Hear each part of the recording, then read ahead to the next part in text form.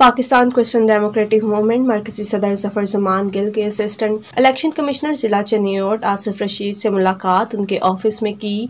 Voters का अंदराज दुरुस्ती और दीगर मौजूद पर ब्रीफिंग दी गई और आसिफ रशीद साहब ने यह यकीन दहानी कराई की वोट इंदराज की तारीख में तोसी की गई है।